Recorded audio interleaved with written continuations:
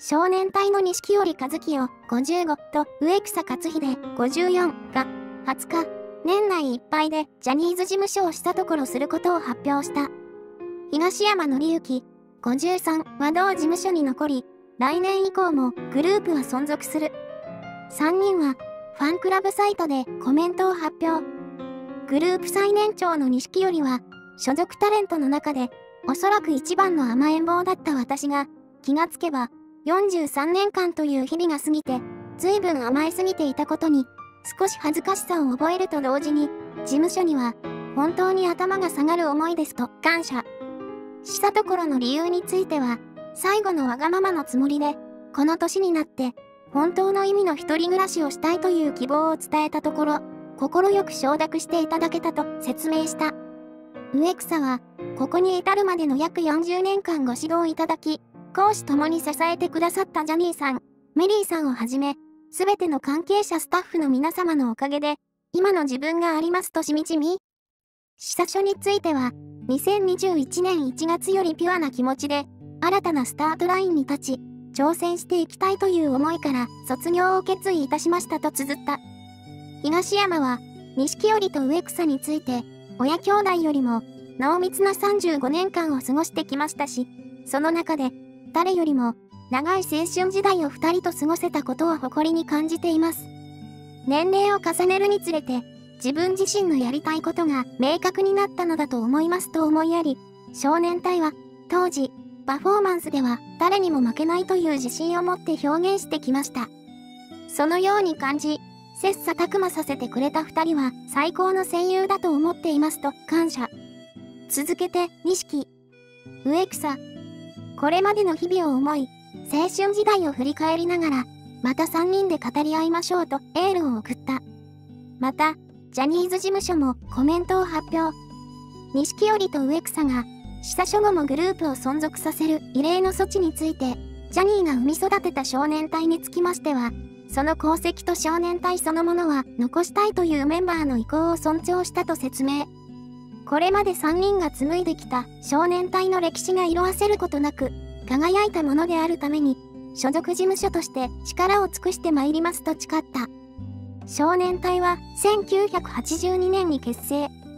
85年に画面舞踏会でデビューし、紅白歌合戦には86年から8年連続で出場した。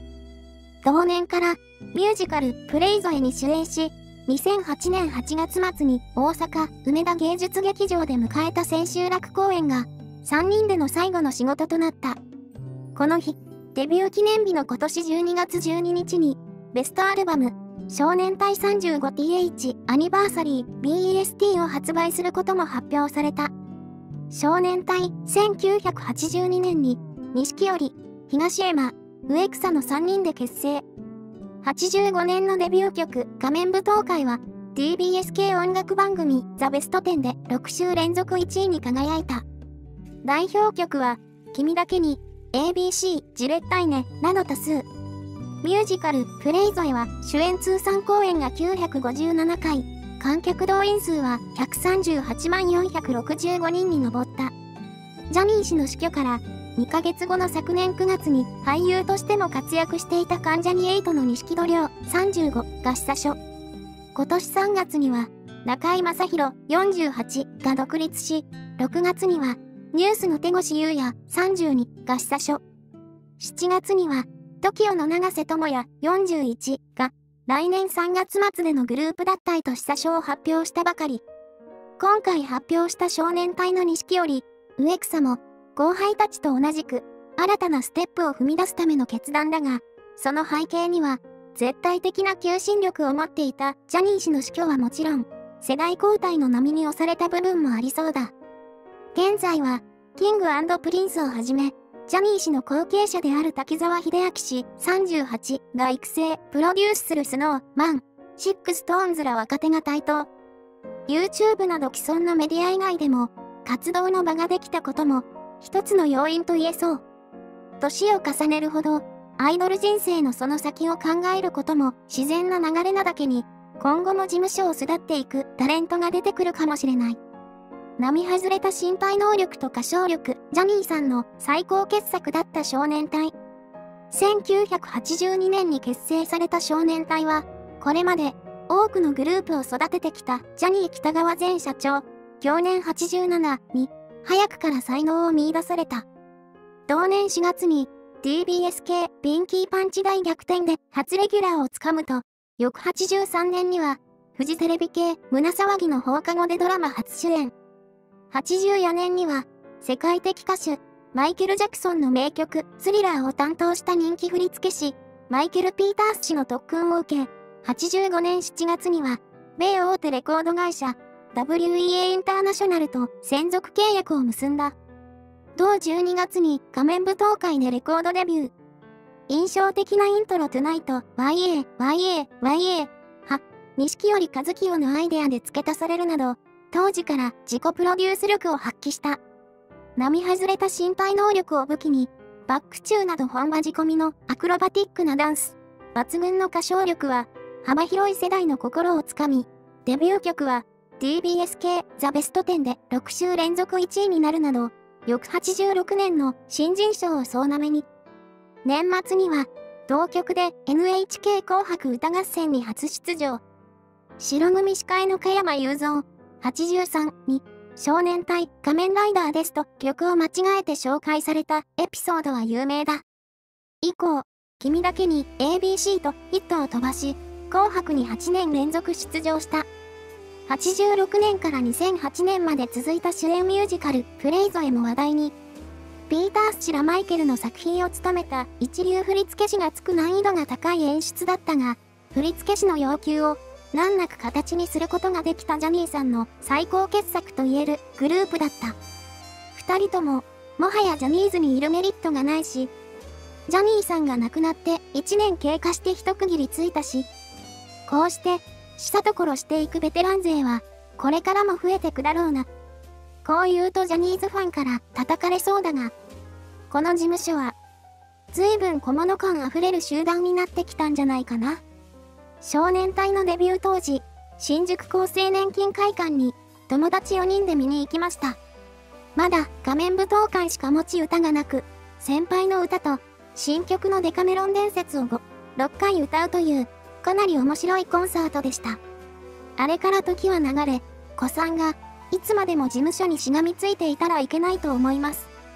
移籍するなり、独立するなり、自身で動かないと、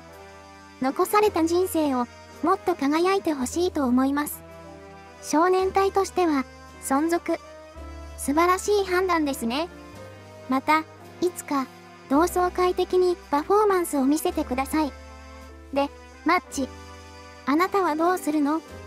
事務所の取締役に収まるなら、一線から退くか、歌手、役者としての誇りがあるのなら、まだまだ頑張って、その姿勢を見せてください。若手に食べさせてもらうだけの番長は、卒業してください。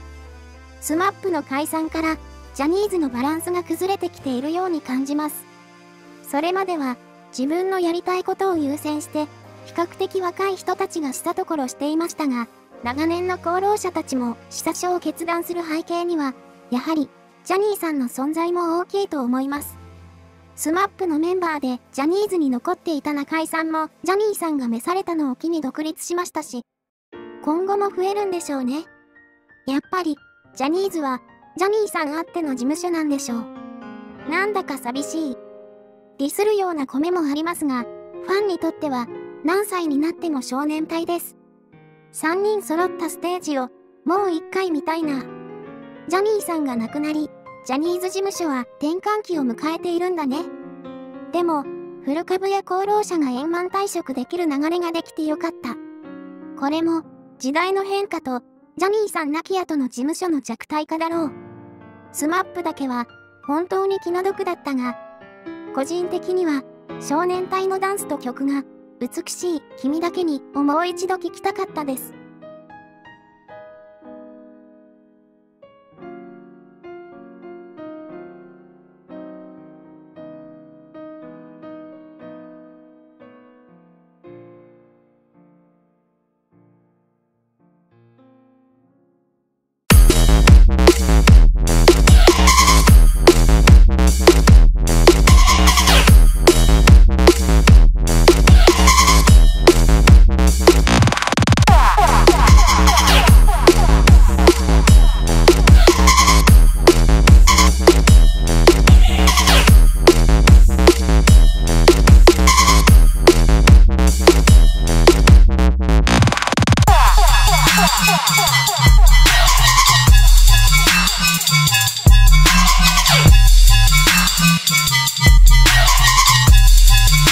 Thank